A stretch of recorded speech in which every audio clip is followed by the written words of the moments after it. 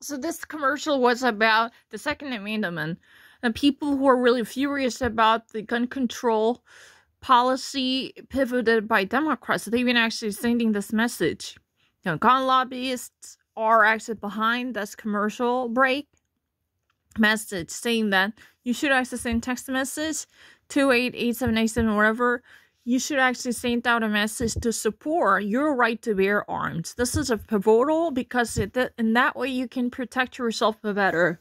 And it was Senator Claire McCaskill, and a formal senator, by the way, she's from Missouri, is a very interesting because there was an old saying going if Democratic candidate wants to be a president, he or she must carry that state. That's a very great indicator, and President Obama surely managed to pull off a great victory.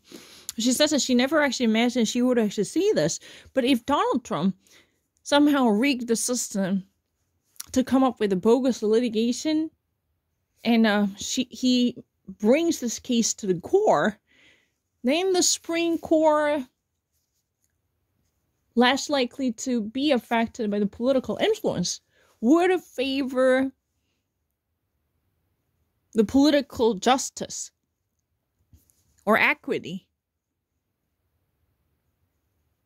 So it from her perspective, it is not likely to be the case that the current core would immediately dismiss the validity of the mail-in ballots, especially from the highly contested battlegrounds like Pennsylvania, because even if you know three different elected justices were replaced by Donald Trump, they have a loyalty issue, but that does not mean their votes will immediately and automatically result in an approval for Donald Trump's desire.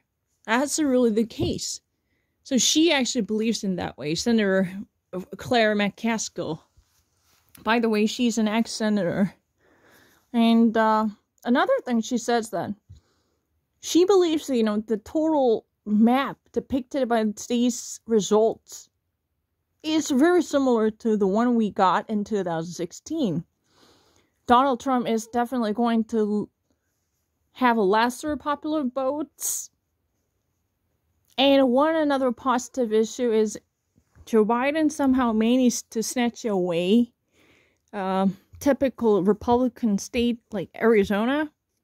And this feat should not be dismissed immediately. Because once this mail in ballots would be counted and this exploit will be very much appreciated, eventually put him on the path to presidency. That could be palpable from her perspective. From her vantage point, that's a feasible within the grasp. Because the Pennsylvania, the state of Pennsylvania is definitely up for grabs